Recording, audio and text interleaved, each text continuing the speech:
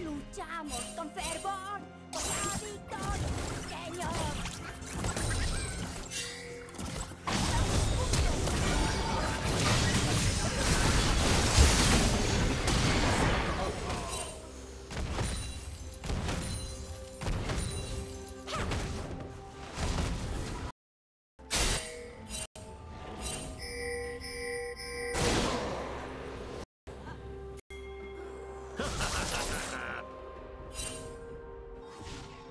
El revestimiento de torreta.